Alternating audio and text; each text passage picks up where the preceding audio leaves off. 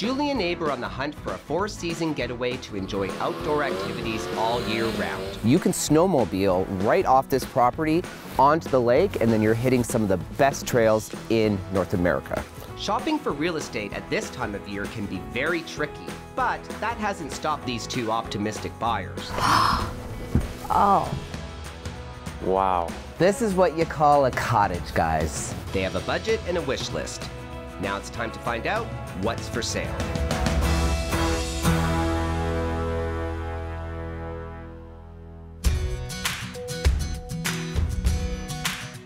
Julie and Abe are from the city.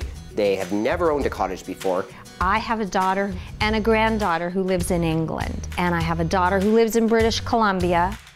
I have a daughter in Toronto. So when they do come back, I think it would be a lot of fun for them to be able to come to a cottage. I have a big family, and we'd like to have them all together for special events like maybe Thanksgiving or Christmas. They have a budget of $800,000 for their dream vacation getaway. Abe is a big outdoorsman and loves winter sports. The first cottage that I'm going to show them is on Redstone Lake, and it literally sits on some of Canada's best snowmobile trails. It has five bedrooms, three bathrooms, 166 feet of frontage with north exposure. List price is over their budget at $849,000. Look at that view. This oh my nice. goodness. Wow. This is nice. So we have 166 feet of frontage, which is a good amount. The one thing about this property, so exposure, it's north exposure. Ah. Oh. It's not bad though. So the sun's gonna come up over here and it's gonna go like this and it's gonna set there. So because the lot here is fairly flat and you don't have a lot of tree line behind you, you will get sun like pretty much all day down here. Okay. But it doesn't have that south exposure that I know is high on your wish list. But you can snowmobile right off this property onto the lake and then you're hitting some of the best trails in North America. You have a big wish list when it comes to the cottage. Yes. So maybe, you know, some of the things at the water are things that we might have to sacrifice. You know what? Let's go check out the house, and um, I think you're going to be very pleasantly surprised. Great. Okay.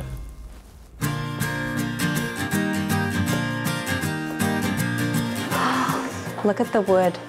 Wow. I love the, the wood ceiling. You like that? Yeah. Awesome. Oh, Nice. Oh. Fireplace. this is beautiful. This is what you call a great room Yeah. Oh, yeah. because it's so great. So, open concept was really big on your wish list. You wanted lots of natural light. I mean, come on. So, we have living, we have dining, we have eating, all in one. I like the way the knotty pine is carried through. Yeah, I think they've done a really good job here of combining a cottage type of feel with also a home type of feel. Definitely not roughing it. This is not roughing it, no. Uh, who's the cook in the family? Yeah, I do most of the cooking. Well, go check out that kitchen. I can't believe a cottage has a kitchen that's way bigger and better than our home kitchen. Yeah, this is, is nice. unbelievable. So, you know, you can obviously see there's tons of counter space. Yeah. You know, the cupboards, you know, are cherry and they match the floors. Oh, they do. I didn't even notice that. Yeah. Stainless steel appliances. This kitchen, you don't have to do anything. You Yeah. can get in here and start cooking tomorrow. Yeah. Oh, Oh. this is, Wow.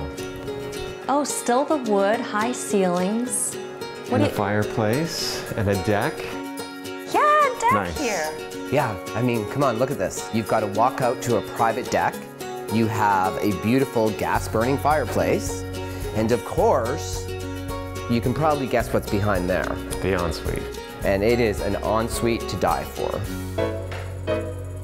Oh, this is bright. Wow. Oh yeah. Look at the ceilings. Yeah. This is cool. Julie, you wanted like kind of rustic. Abe, you're like, you know, I prefer a little bit more modern. I think this delivers both. I have to say, I agree. This is beautiful. And look,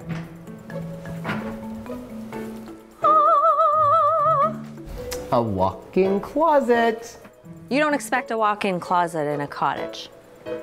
Yeah, I'm really relieved that it looks like there's no work to be done. It's very modern uh, construction, so um, it looks great so far.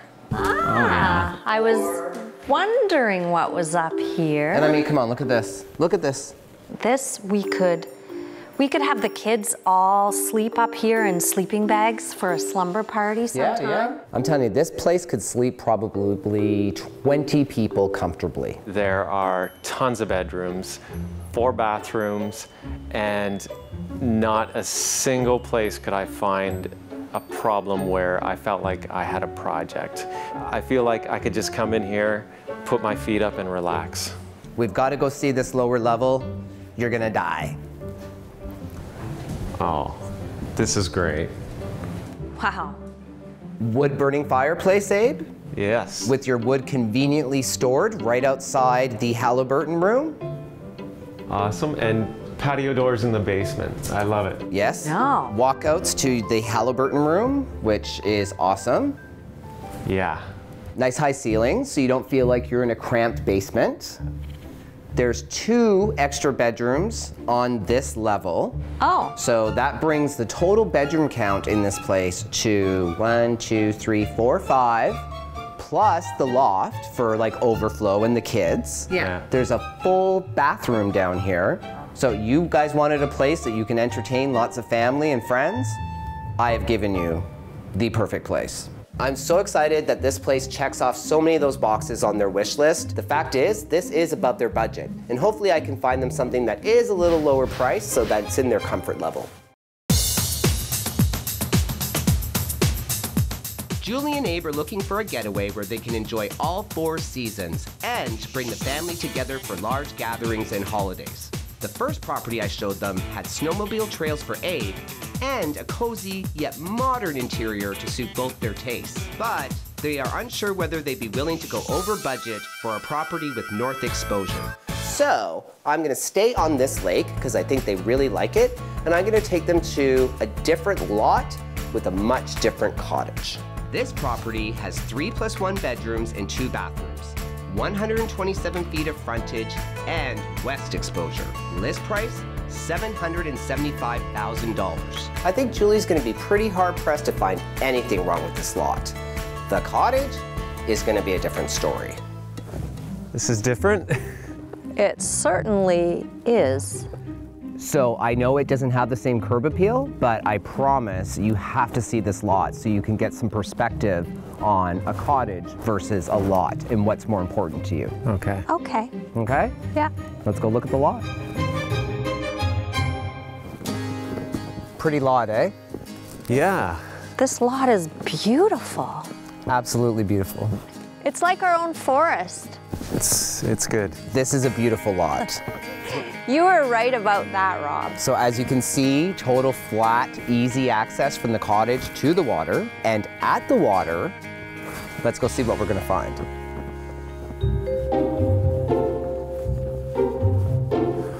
Wow. So much different waterfront than the last property we were at. So this is 127 feet of frontage. And you'll notice too, once this freezes over, coming Snowmobiling. snowmobiling. So again, we're on the same lake, Redstone Lake, so access to miles and miles of snowmobiling trails. Great. Like, let me tell you, it does not get any better than this. And I mean, look at these views. It's beautiful. It is. So with this type of lot, this property could be a million dollar property if you guys are willing to put in the time and effort to improve the cottage. Okay. Well, let's see it. Let's keep an open mind. You might already like a lot of the parts of the interior, right? Right. Yeah. Let's go.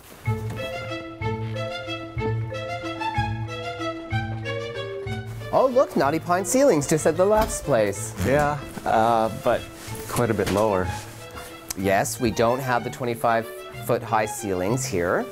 As I said, this is definitely a different cottage. So, as you can see, it's not as open concept as you're probably going to tell me you want, but I think it's cozy.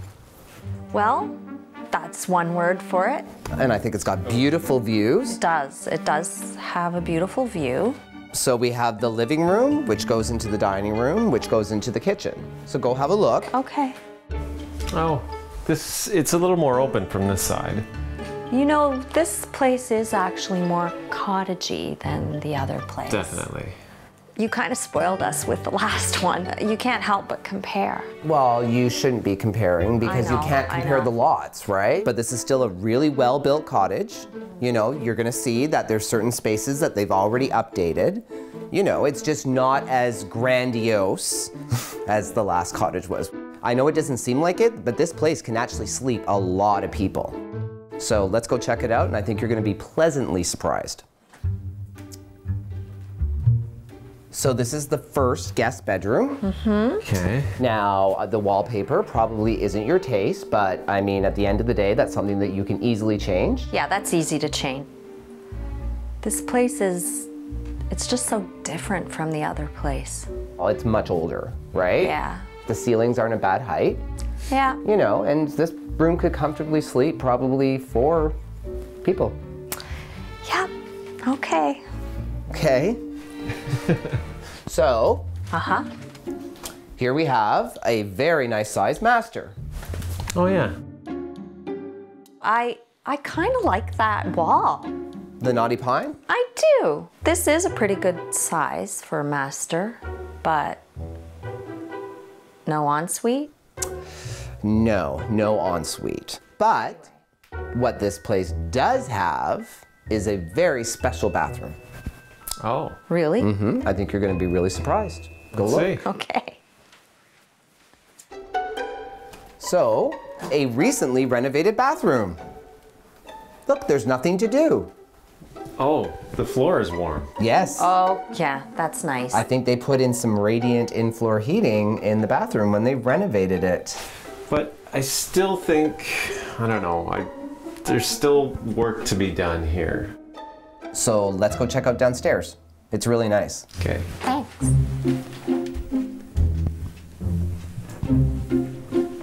So here we have what I think is great use of a games room. And here we have a wonderful media room. This would be a great place for the kids to play and such. And then we have a separate entrance right there. So you have, the, remember I was saying there's two entry points, so you can Oh, come in through the top or you can come in through the bottom here. Maybe he's showing this place for the rustic look for you. But to me, this looks like a lot of work. So they love the cottage at the first property and they love the lot at the second property. So now I have to wrap my head around how I'm going to be able to find them both and stay within their budget. I've got my work cut out for me. Julie and Abe are on the hunt for a four season getaway where they can host lots of family and enjoy outdoor activities all year round. The first property had everything they wanted except for west exposure. The second property had west exposure, but came with its own sacrifices. To me, this looks like a lot of work. They loved the first cottage and they loved the second property. So I think we're gonna have to maybe get off these big lakes and go look at something a little bit smaller. This next property on Stormy Lake has four bedrooms, two bathrooms, 160 feet of frontage, and ideal west exposure. List price is under budget at $699,000. Oh, Wow. This is what you call a cottage, guys. yes, you do. This I is beautiful. Obviously, it's got the wow factor as soon as you walk in. It's very open concept, I love the construction. Like these beams are gorgeous. fantastic. And as you can see, it's really well built. So the finishes in here are really nice. So it's maple hardwood floors. Um, they have custom railings throughout that was imported from Italy. Oh. Um, the staircase is made of cherry. Oh. Like really, really good finishes here. So come look at the kitchen. yes. Because one of my concerns when I saw this place for you was that you might find this kitchen a little bit too small. No, it actually, I think because of the whole open area, it seems huge. I'm looking at this place and I'm just agog at how beautiful it is. It's beyond what I expected. So you'll see here we have a really cute bedroom, Oh yeah, it's nice. awesome views of the lake. And attached to it is what we call kind of a semi ensuite. So you'll see that it acts as an ensuite for this bedroom, but it also acts as a bathroom for everyone when you're entertaining ah, on the main level. That's handy. Yeah. And usually you have a two-piece, but this But has a shower. yeah, it's a three-piece. Have a look. It's a great shower. It's very tall. Oh, yeah. Oh yeah. Someone like you, Abe. Yeah, I hate bending down in the shower. But I actually don't see this as your bathroom. Yeah, but we might have tall guests. That's true. So that's good. And this is this is great. Great. Let's go look at the lower level. Okay. You wanted places for kids to play. Yes. Come on.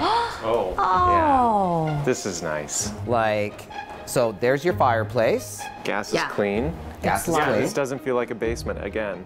It's like a Huge grade. windows, Absolutely. patio doors. Patio doors, so walk out right to the waterfront and look, Hot tub. a hot tub. Sitting in the hot tub while the sun sets over the lake. Those are some pretty romantic thoughts you have there, Julie. Yeah, that would be really nice. That would be really nice. I love the openness of it. I love the wood. I love the open risers on the stairs. And I really love that we don't have projects. So you'll notice that the floors have now changed to like rustic barnwood type flooring. Yeah.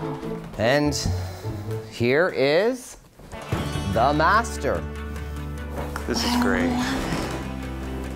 Come on. It's so nice. Isn't this beautiful? So you have a very big double closet there. You have a very nice ensuite there. And look, your own private deck. It's great. Nice. This property looks a lot like the first property, a lot better than the second property. And it's got two buildings. That's kind of unexpected. So it's like having two cottages in one. Yeah, like a guest cottage. Welcome to your rustic bunkie. Oh, yeah, this is rustic. This is neat. Come on, how cool is this? is. It is cool. The children would feel like they were in this old timey cottagey thing. There's a bedroom in there, Uh-huh. and then you can go up the stairs, and there's a little loft area. Okay, let's check that out. I mean, Oh, yeah.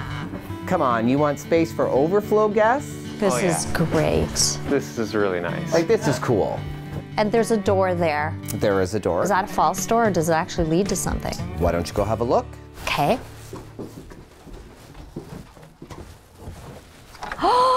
Oh, wow. Look at this. oh, this is. This is so cool. Isn't this I awesome? love the view. And there is a lot of flat land here. Absolutely, lots of flat, usable space down there. You've got the dock there, and it's going to be deep water off the dock.